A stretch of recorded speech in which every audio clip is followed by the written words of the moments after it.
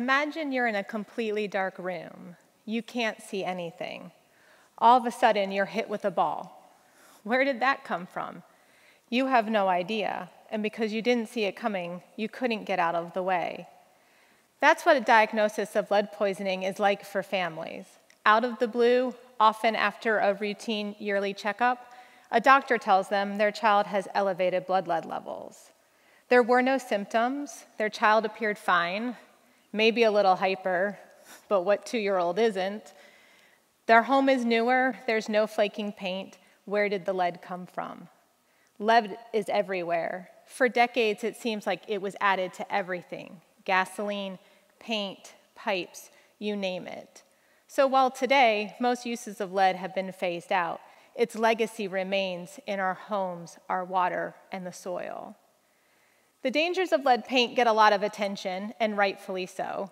Most cases of childhood lead poisoning are the result of lead exposure to lead dust from deteriorating lead paint. But for some children, especially infants, lead in water is of greater concern. The family member at highest risk of lead poisoning is a baby fed exclusively powdered formula mixed with lead contaminated tap water. Lead gets into our drinking water when plumbing materials that contain lead corrode.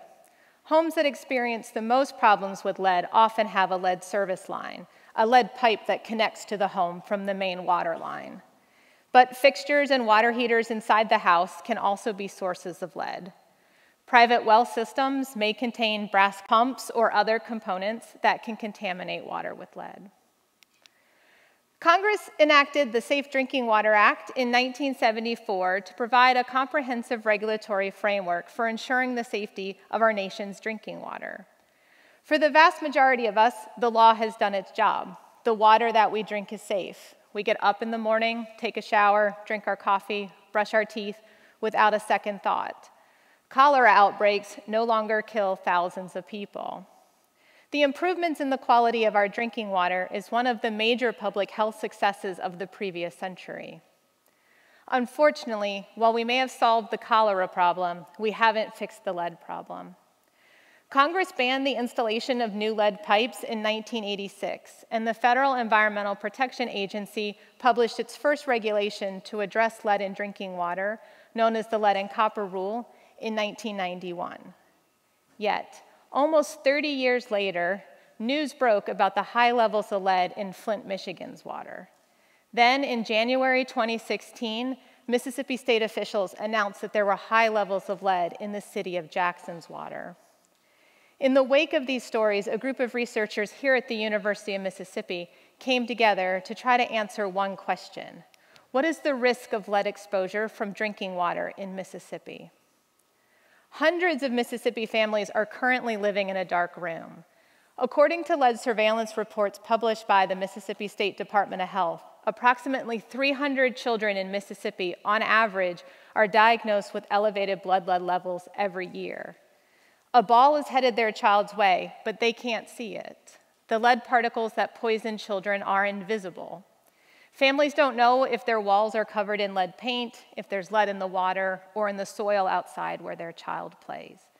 We can't know if there's lead in our homes unless we test for it. At least with paint hazards, there are some things that can give us warning signs, like chipping or peeling paint on windowsills or dust on the floor.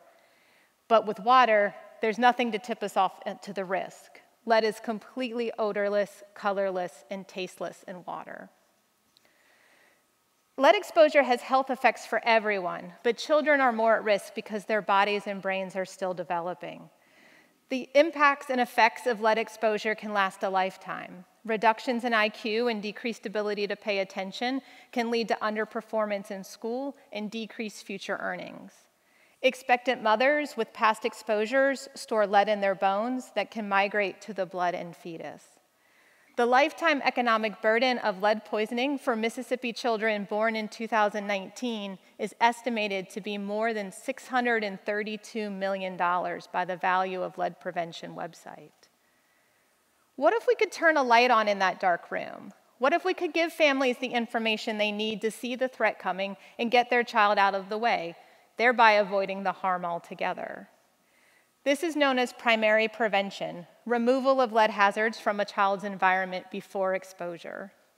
This is not my idea or a new idea. It's been a policy priority of the Centers for Disease Control for years. There is no safe level of lead exposure, so all sources of lead in a child's environment should be controlled. We need to shine a light on the presence of lead in Mississippi drinking water. Communities and agencies need to know where the problems are so they can design effective policies and other interventions.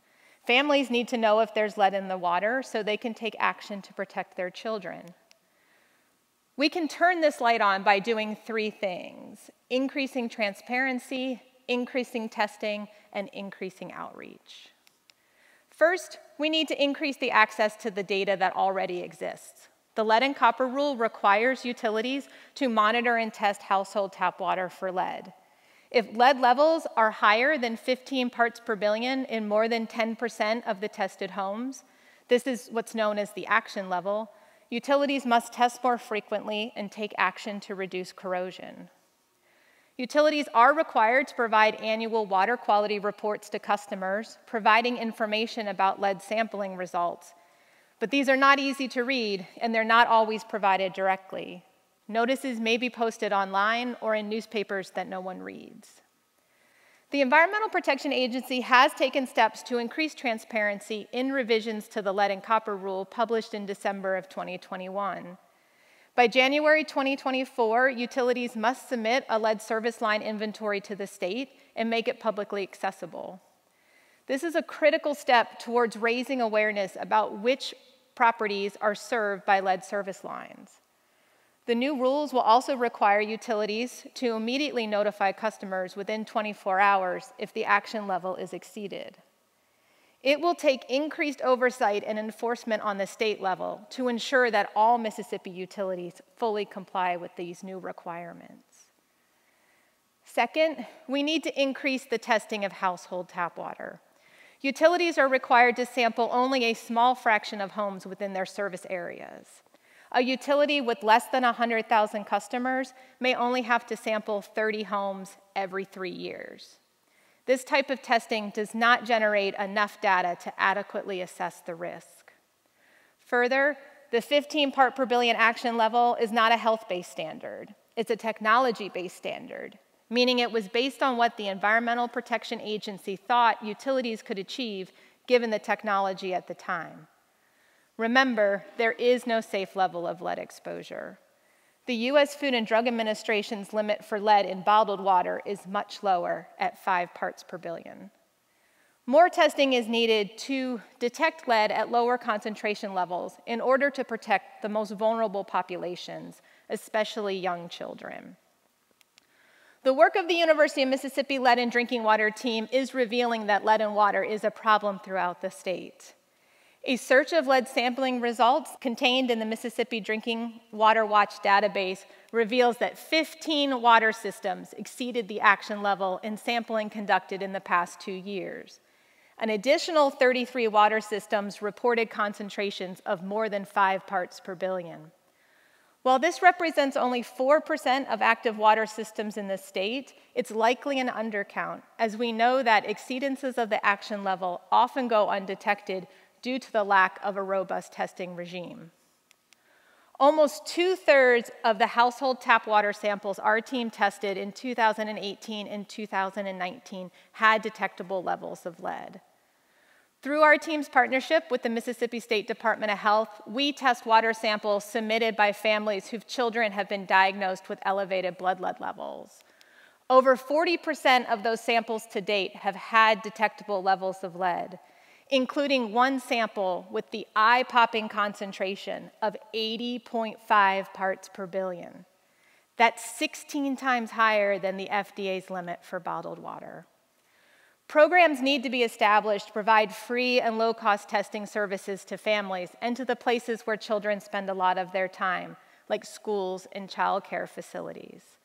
Some utilities across the country are already doing this. The cities of Louisville, Kentucky and Newark, New Jersey, for instance, provide free water testing to customers upon request.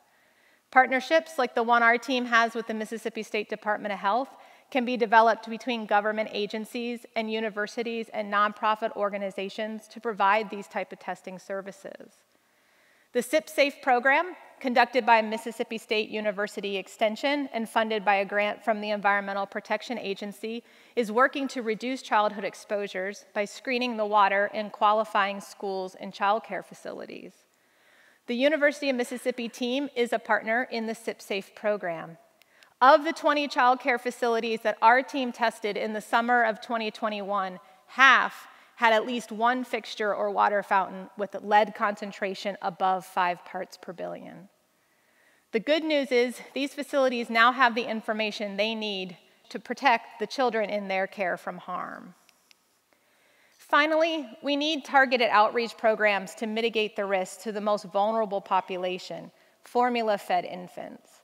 Very few websites provide clear guidance to new parents about how to ensure that their tap water is safe to use when preparing powdered formula. I was able to find a handful that did discuss the risks of lead in drinking water and provided information about how families could get their water tested.